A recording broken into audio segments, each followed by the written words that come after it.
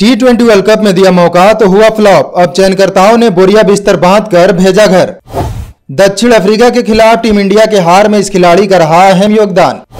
New Zealand और बांग्लादेश के खिलाफ होने वाली सीरीज़ से भी इसे कर दिया गया है बाहर। टीम इंडिया की घोषणा होने के बाद टेंशन में यह खिलाड़ी जल्द ले सकता है संन्यास। भारतीय क्रिकेट टीम इन दिनों ऑस्ट्रेलिया में टी ट्वेंटी वर्ल्ड कप खेलने में लगी हुई है, जिसमें इंडिया का प्रदर्शन ठीक ठाक रहा, लेकिन उस दौरान कुछ ही खिलाड़ियों ने अच्छा प्रदर्शन किया। वहीं अधिकतर क्रिकेटर उम्मीद के मुताबिक अपना जलवा दिखाने में कामयाब नहीं हुए। इस वजह से उनके समर्थक अवश्य निराश होंगे। इस टी वर्ल्ड कप के बाद भारतीय टीम को न्यूजीलैंड और बांग्लादेश के साथ टेस्ट वनडे और टी ट्वेंटी मैचों की सीरीज़ खेलनी है। इसलिए सिलेक्टर्स टीम इंडिया का ऐलान कर दिया है। उस टीम में अधिकतर युवा खिलाड़ियों को मौका दिया गया है।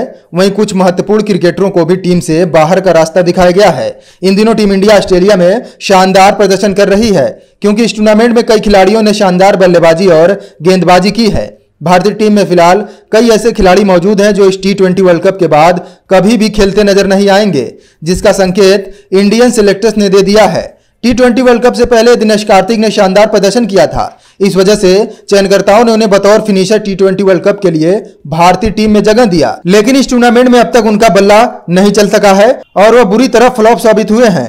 इस वजह से पिछले मुकाबले में दक्षिण अफ्रीका के खिलाफ टीम इंडिया की बुरी तरह हार का सामना करना पड़ा था। चयनकर्ताओं ने विकेटकीपर बल्लेबाज दिनेश कार्तिक को अपना जौहर दिखाने का पूरा मौका दिया।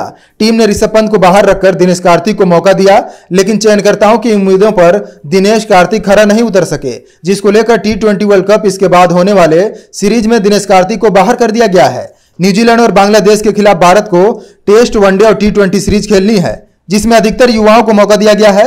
वर्ल्ड कप में खराब प्रदर्शन करने वाले कई खिलाड़ियों को टीम से बाहर का रास्ता दिखा दिया गया है। जिसमें दिनेश कार्तिक का नाम भी शामिल है। वहीं ऋषभ पंत को भारतीय टीम का उप कप्तान बनाया गया है। न्यूजीलैंड और बांग्लादेश के खिलाफ होने वाले सीरीज़ से कप्तान रोहित शर्मा और के राहुल को बाहर कर दिया गया है। हार्दिक पांड्या को टीम की कमान सौंपी गई है। टी ट्वेंटी वर्ल्ड कप के बाद भारतीय टीम को बांग्लादेश और न्यूजीलैंड के साथ टेस्ट वनडे टी ट्वेंटी मैचों की सीरीज़ खेलनी है, लेकिन इस श्रृंखला के लिए चयनकर्ताओं ने दिनेश कार्तिक को टीम इंडिया में जगह नहीं दी। इससे साफ़ नज़र आ रहा है कि अब उनका क्रिकेट करियर समाप्त होने वाला है, क्योंकि अब कार्तिक की आयु अधिक हो चुकी है, जिस वजह से उन्हें जल्द क्रिकेट को अलविदा कहते देखा जा सकता है। अगर दिनेश कार्तिक वर्ल्ड कप में अच्छा प्रदर्शन करते तो चयनकर्ता उन्हें एक और मौका ज़रूर देते और उन्हें न्यूजीलैंड और बांग्लादेश दौरे में शामिल करते। लेकिन चयनकर्ताओं की उम्मीद पर खरा न उतरने पर दिनेश कार्तिक का बोरिया बिस्तर बाँध कर घर भेज दिया गया है। अब उम्मीद लगाई जा रही है कि दिनेश कार्तिक की टीम में वापसी कभी नहीं होगी। अब भारतीय चयनकर्ताओं की नज़र युवा खिलाड़ियों पर है, जो काफ़ी शानदार प्रदर्शन कर रहे हैं। ऐसे में दिनेश कार्तिक की उम्र भी काफ़ी ज़्यादा हो गई है, जिसको लेकर टीम मैनेजमेंट कड़ा फैसला ले सकता है। न्यूजीलैंड और बांग्लादेश के खिलाफ सीरीज़ में टीम इंडिया नए क्लेवर में दिखने वाली है। उमरान मलिक, ईशान किशन, शुभमन गिल, संजू सैमसन के अलावा कई अन्य युवा खिलाड़ियों को मौका दिया गया है।